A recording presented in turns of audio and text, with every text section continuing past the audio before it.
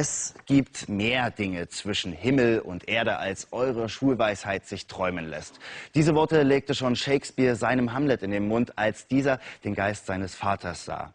Auch heute versuchen viele Menschen mit moderner Technik mit der anderen Welt zu kommunizieren. Und meine Kollegin Janine Röver ist der Frage der Transkommunikation mal nachgegangen. Friedrich Jürgenson, Entdecker und Denker, künstlerisches Multitalent. Der Metaphysiker und Jenseitsforscher zählt zu den großen Philanthropen unserer Zeit, der unbeirrbar seinen Weg zum größten Mysterium der Menschheit sucht. Friedrich Jürgenson gilt als der Entdecker des Stimmenphänomens. 1959 machte der Künstler Vogelaufnahmen und hörte dabei menschliche Stimmen, die ihn mit seinem Namen riefen. Bis zu seinem Tod suchte er den Kontakt zu den mysteriösen Stimmen. Um dieses Phänomen kümmert man sich bis heute im Verein für Transkommunikationsforschung, zu dem auch Hartmut Alt gehört.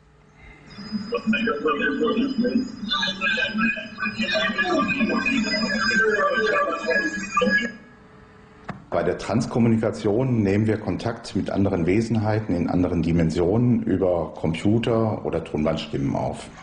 Ein besonderes Erlebnis überzeugte ihn von der Existenz der Stimmen.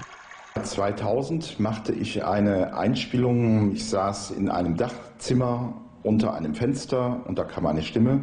Du sitzt im lichten Durchgang und das war für mich das Evidenzerlebnis und der Beweis, irgendwas muss dran sein an den Tonbandstimmen.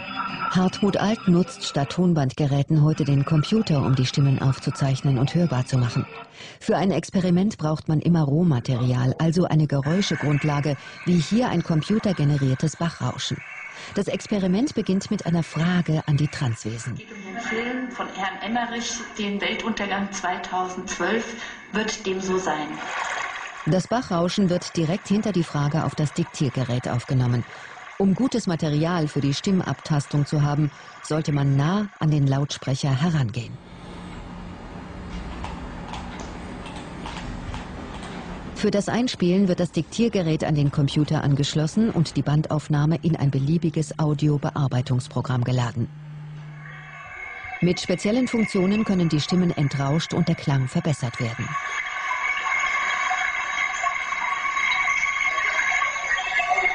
Die Stimme sagt ganz klar, das ist nicht unsere Sendung.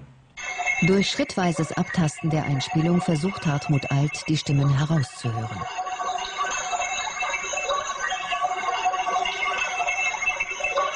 Mit digitalen Filtern kann man eine einzelne Stimme hervorheben und verbessern. Und auch sonst ist die Arbeit mit und am Computer für die Tonbandstimmenforscher von Vorteil.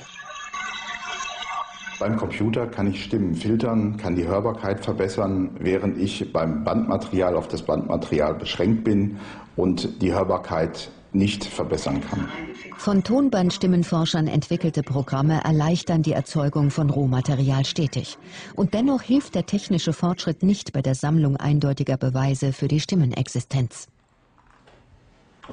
Ein Kritiker wird am besten dadurch überzeugt, indem er sein eigenes Evidenzerlebnis hat. Das heißt, wenn sich etwas ereignet während der Einspielung, wozu er einen besonderen persönlichen Bezug hat, den nur er wissen kann und niemand anderes und er darauf eine Antwort bekommt. Die Welt wird nicht sterben. Seit Jahren sammelt Hartmut Alt seine besten Stimmen und veröffentlicht sie als glaubwürdigen Beweis für die Tonbandstimmenforschung. An der Parapsychologischen Beratungsstelle in Freiburg untersucht der Psychologe Dr. Walter von Lucadou seit Jahren, ob sich das Stimmphänomen wissenschaftlich beweisen lässt.